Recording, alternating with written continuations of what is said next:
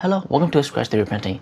Here are 10 things to be considered picking up during Prime Day if 3D printing is your hobby. Let's scratch today's video. This is my list of things that I will be picking up if I don't have them yet. The first thing that I'm going to be looking to is a PEI Magnetic Flex build plate. If you don't have a PEI Magnetic build plate, maybe you should consider getting one during the Prime Day sale. For all my 3D printers, I have at least one PEI flexible magnetic build plate for all my 3D printers. It's just so much easier for 3D printing to come off and to stick to the bed. PEI build plate is like the number one build plate for all my 3D printing. Everything will be linked in the description down below so you can just go ahead, click and get yourself what you need. Here are some PEI magnetic build plate for your 3D printers. If you need them, you can get these if you want, but Usually PI works for mostly everything. Number two to get during Prime Day, the sale is a nozzle cleaning kit. Number two is nozzle cleaning kit, which are these. For nozzle cleaning kit, I'll be getting something like this because I never seen this tool before and it seems like a really good tool for unclogging your nozzle so that you don't have to hold too close to the nozzle and have a chance to burn your hand which has happened a lot. And it also has a brush which is pretty good for cleaning the nozzle before using the pin. The third thing to be considered getting during Prime Day is a filament box dryer.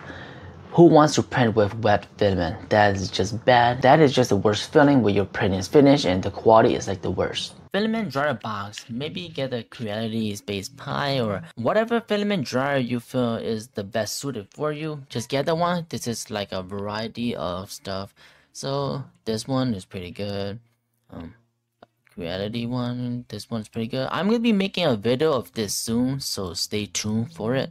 Yeah, any filament dryer is good. Number 4. 3D printing toolkits. Number 4. Prime Day deal for 3D printer toolkits like from Creality. Really useful tool is these deburring tools, a caliper, so all of those. This is a really good kit. You get 45 for the price of $25, which is pretty nice on Prime Day. Number 5, it's the perfect time for you to grab extra nozzles for your 3D printers in case the one that you're using has wear out. Nozzles. Stock up on nozzle for your 3D printer, either CamGrow, Flashforge, Elegoo, Creality, any 3D printer you have right now is the perfect time to stock up on nozzle because nozzle wear pretty fast. And maybe while you're at it, get some hardened steel so that it lasts a little bit longer. Number 6. A 3D print removal tool like a scraper, a spatula, whatever. Sometimes you need to remove those small pieces from your build plate.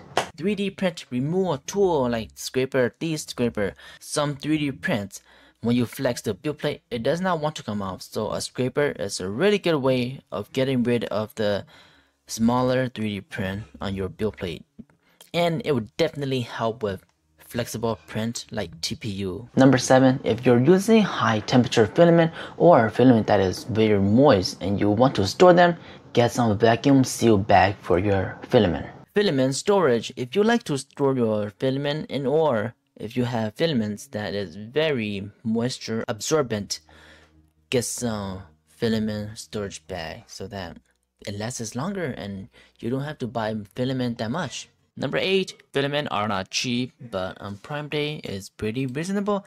2 PLA from Elegoo is 24-ish. One roll of 1 kg filament is $12, which is pretty nice. Pretty close to the $10 per spool. High speed PLA is about $13 per kg. Stock up on filament on Prime Day so that you can continue printing more stuff in the future. Number 9, some cameras for your 3D printers so you can see what's going on if you're not near your 3D printer. Number 9, cameras for your 3D printer. If your 3D printer allows camera like Flashforge, the new AD5X, I'm going to be getting one myself. Prime Day is the time to get it. Number 10, if your 3D printer doesn't have an auto bed leveling sensor, highly suggest you get one because auto bed leveling is so much better than manual leveling.